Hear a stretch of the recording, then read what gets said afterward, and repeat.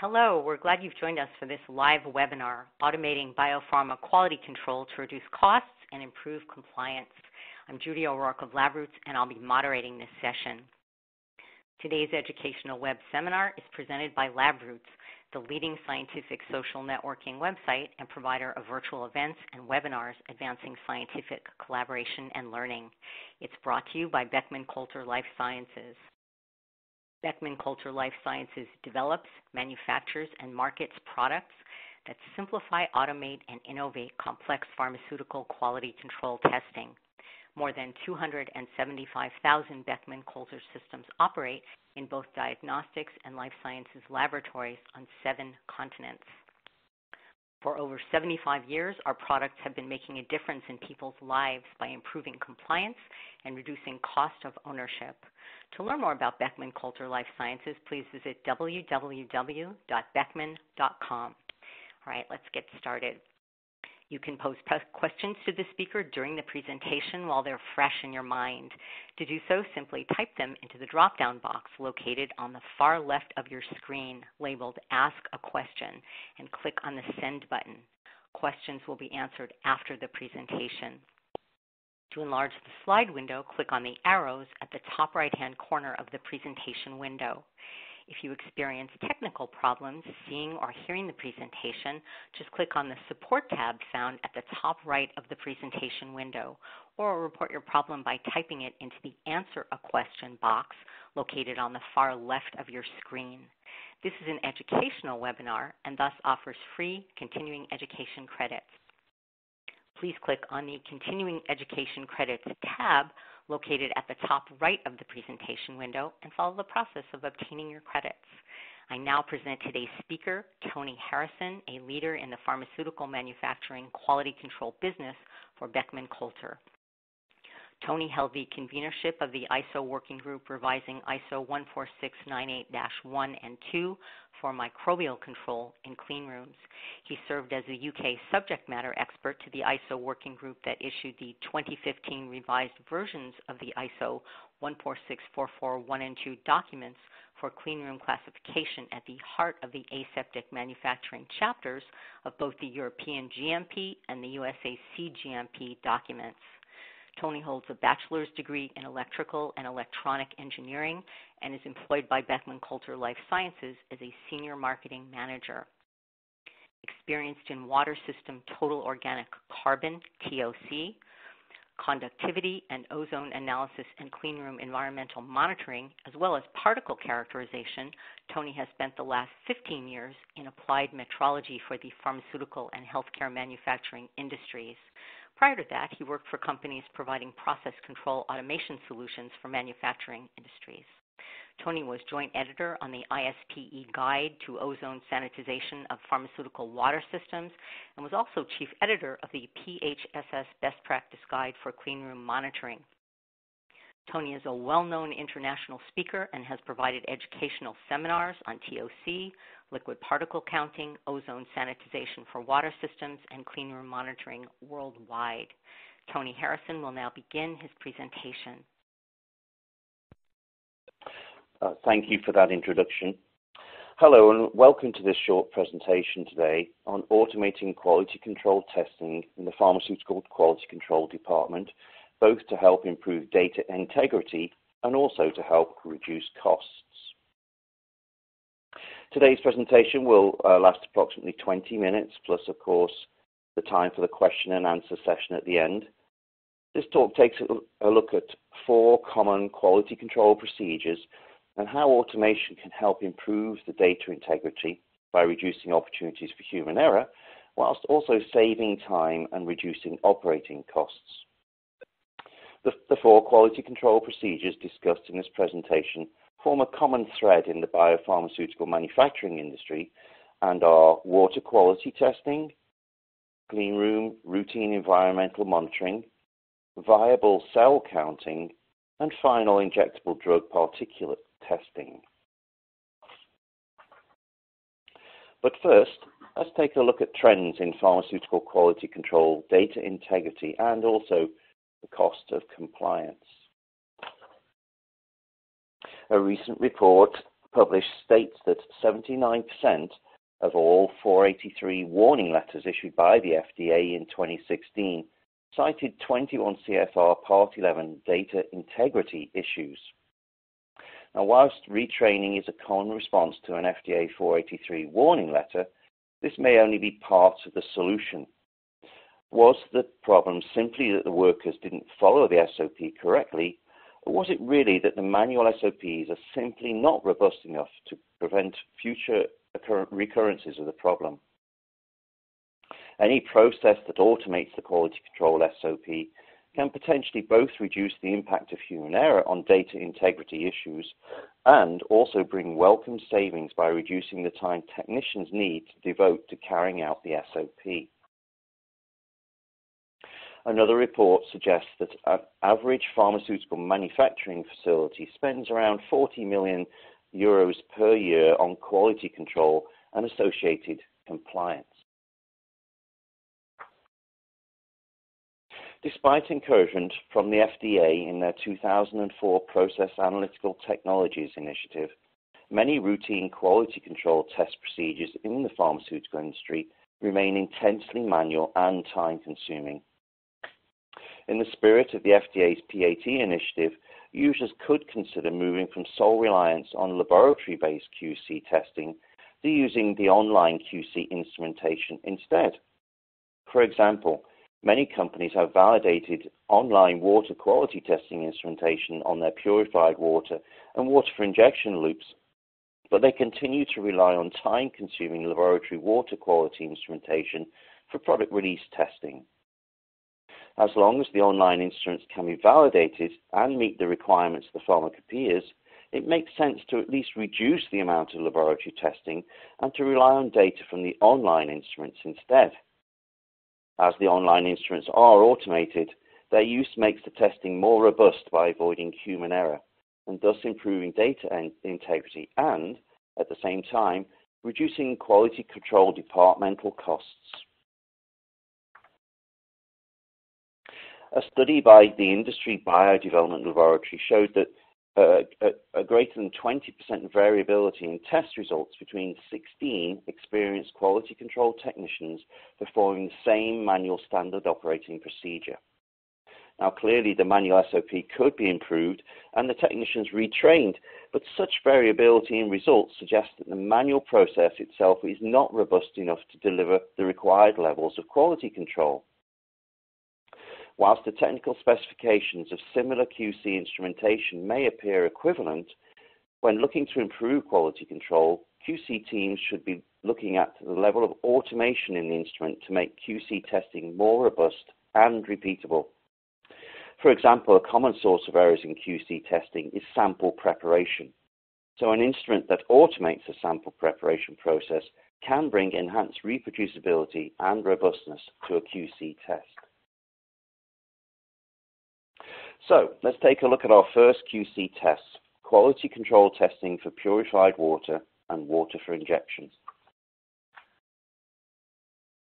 Total organic carbon and conductivity are two of the four critical quality attributes defined for water for injection and purified water in the pharmacopoeias. Online analyzers such as the PAT 700 from Beckman Coulter can be validated to comply fully for both of these key quality attributes according to the pharmacopoeial requirements. In their guidance, the FDA are keen to emphasize that the 21 CFR Part 11 ruling applies only to the data historian where electronic records are kept. The danger with online instruments with their own local data historian built in is that they could attract the full requirements of the 21 CFR Part 11 ruling.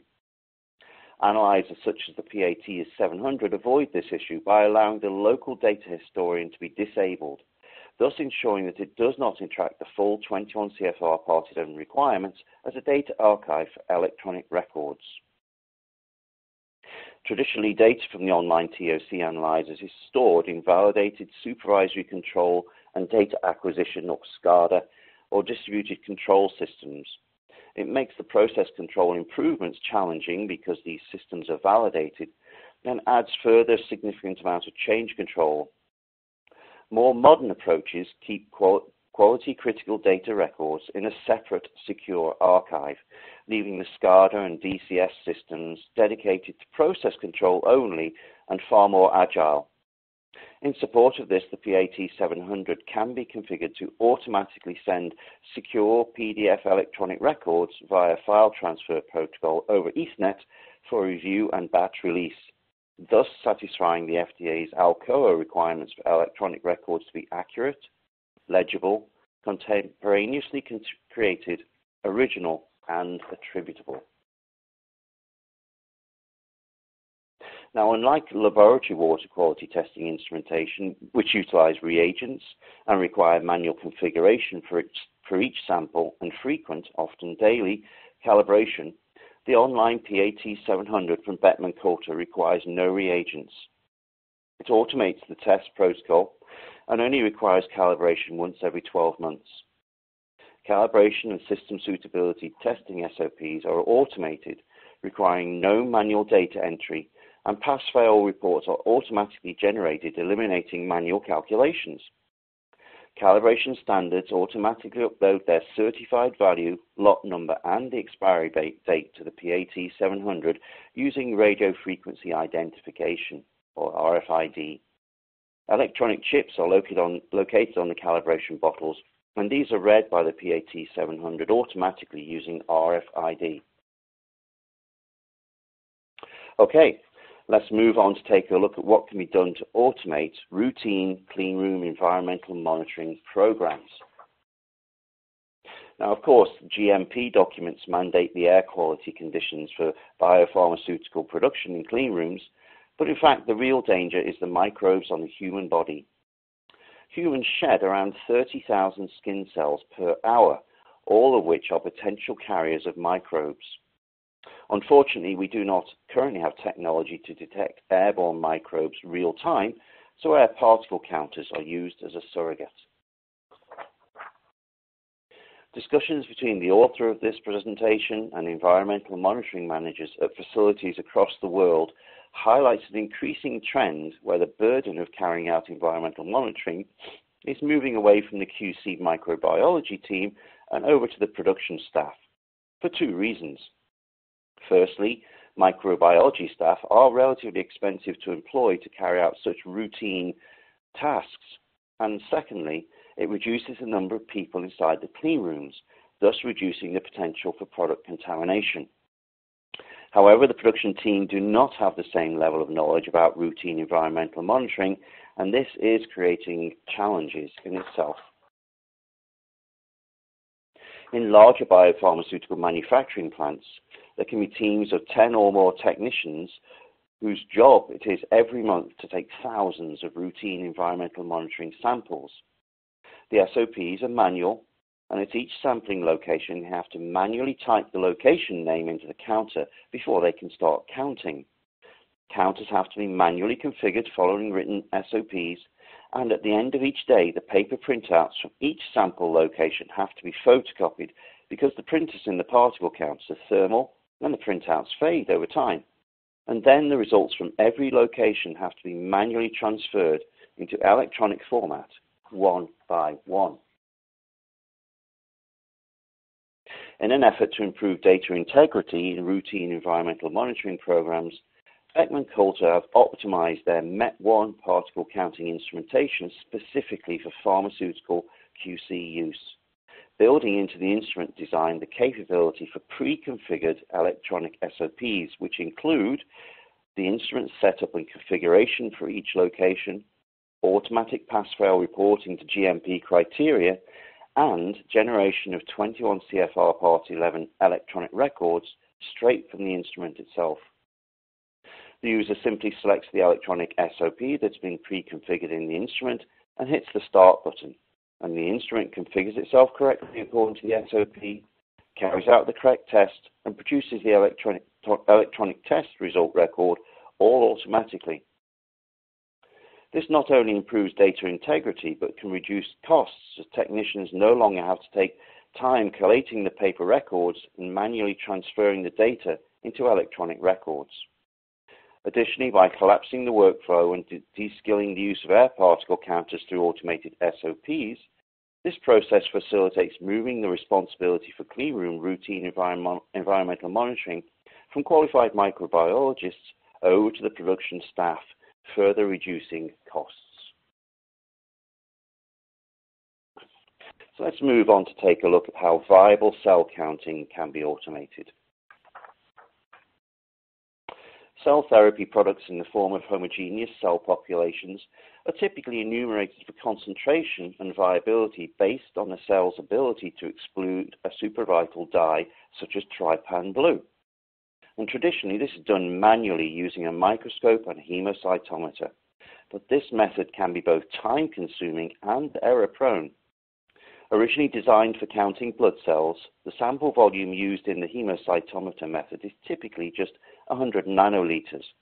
And small errors using this method caused during the sample dilution, mixing, pipetting, and visual enumeration by the technician in results as the final count result is multiplied up from nanoliters to report cell concentration in viable counts per milliliter and one study revealed variances in the reported cell concentration results between each member of a team of 16 experienced and knowledgeable technicians using the hemocytometer method of up to plus or minus 20% between each technician.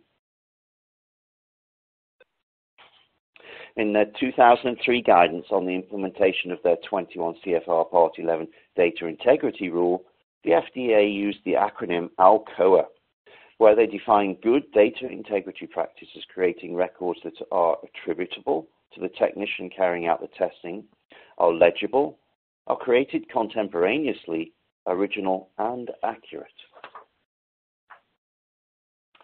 The USP Chapter 1046 indicates that automated cell counting and viability instruments can provide a higher degree of precision and a more reproducible enumeration.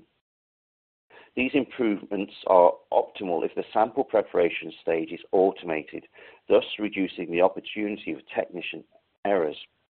Additionally, if the automated cell counter can use electronic, pre-programmed cell counting SOP libraries that match the manual SOPs for cell counting designed by the user, then results are more likely to be accurate and reproducible. As well as improving the precision and reproducibility, Automated cell counters can reduce the cost of this QC test by allowing the technicians to carry out other tasks while the counter automates the preparation and counting stages for each sample. Counters that can count from a 96 well plates can save significant technician time, helping to reduce QC costs. At the same time, by automating the cell counting SOPs, the method becomes more robust. Creating the electronic record contemporaneously improves data integrity as, as the results are attributable, legible, contemporaneously created, original, and accurate as per the FDA's ALCOA guidance in their 21 CFR Part 11 document. Finally, the last portion for today, uh, let's take a look at the requirements for particulate testing in injectable drug solutions and how these tests can be made more robust. Although largely harmonized, the requirements for parenteral drug particulate testing do vary from country to country and from product to product. The volume of the sample to be analyzed and the format that results are reported in varies from product to product. For example, the sampling requirements for small volume therapeutic protein products, such as vaccines, is different for that of a large volume parenteral, such as an intravenous drip bag results must be calculated and expressed in the correct format. For example, counts per container or counts per milliliter, depending on the product under test. Now, whilst general purpose liquid particle counting instrumentation can be used for the testing of particles in parenteral products, the Beckman Coulter HIAC counters have been optimized for the application due to the wide range of complexity in the testing. The various compendial tests are pre-programmed in the HIAC software, and the HIAC will automatically calculate a pass-fail result, avoiding manual calculations. And as the QC teams tend to use their product brand name to describe the product sample under test, the HIAC particle counters allow the user to select the required test for each sample by selecting the product by name from a, or brand name from a drop-down menu. The correct compendial test for each product is automatically configured once the brand is selected, and there are no manual calculations. So I'd now like to summarize the key points of the presentation. Whilst the industry focuses on errors and omissions in 21 CFR Part 11 electronic records, the underlying issue is that retraining may only be part of the solution. Manual SOPs are not robust enough to prevent future recurrences of data errors and omissions. QC instrumentation that automate the quality control SOP can potentially both reduce the impact of human error on data integrity and also bring welcome cost savings by reducing the time technicians need to devote to carrying out the SOP. So thank you for your time today. I will now take your questions. Thank you, Tony, for your presentation. A quick reminder for our audience on how to submit questions. Simply type them into the drop-down box located on the far left of your presentation window labeled Ask a Question and click on the Send button. Tony Harrison will answer as many questions as time permits. And the first question is, how can the PAT 700 TOC analyzer from Beckman Coulter be validated to support its use for product release testing? Certainly, certainly. Um, so in the ICHQ2 document, the tripartite uh, committee from the USP, EP, and JP lay down the guidance on how an, an, an oh, sorry, an analytical method should be validated to demonstrate that it's suitable for its intended purpose. I have a paper on validating the PAT 700 TOC analyzer to ICHQ2. I will send it to you. You mentioned electronic records in PDF format are automatically exported from the PAT 700 TOC analyzer. Surely PDF files can be changed, so how do you ensure that the electronic record is secure? So there's two main ways in which this is achieved. Firstly, uh, the PAT 700 uses Secure File Transfer Protocol, or FTP, which is an industry standard protocol for secure data transfer. And secondly, uh, the PAT 700 automatically applies a randomly generated password to the PDF file to prevent it being altered in any way. Looks like we have time for one more question. It is how does RFID technology prevent manual data entry and calculations on the PAT 700? Hmm, thank you. So, firstly, the, the PAT 700 has all SOPs for calibration, system suitability testing, etc., pre programmed in electronic format, uh, electronic SOP format.